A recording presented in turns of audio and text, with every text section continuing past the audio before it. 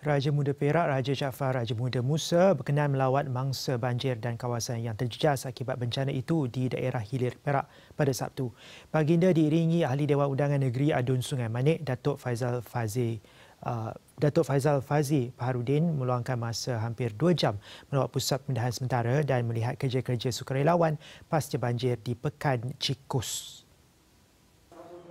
Tumpuan lawatan baginda juga terarah kepada usaha membaik pulih jalan raya yang rosak akibat banjir.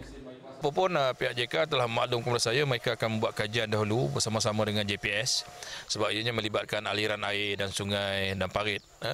Sudah tentu hasil daripada kajian itu kita akan dapat merumuskan satu struktur atau struktur yang lebih lebih konkret lah, lebih selamat, uh, lebih baik daripada struktur yang sedia ada sebab kita tak mahu perkara ini berulang kembali.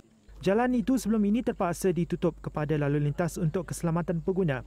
Pada Selasa, Menteri Besar Perak Datuk Sa'ari Muhammad ketika meninjau keadaan Jalan Cikus berkata, kerja-kerja baik pulih akan disegerakan kerana ia merupakan jalan utama penduduk. Kerajaan negeri juga sudah meluluskan peruntukan awal 22 juta ringgit untuk kerja-kerja baik pulih jalan berkenaan yang digunakan oleh penduduk di lebih 60 buah kampung berhampiran.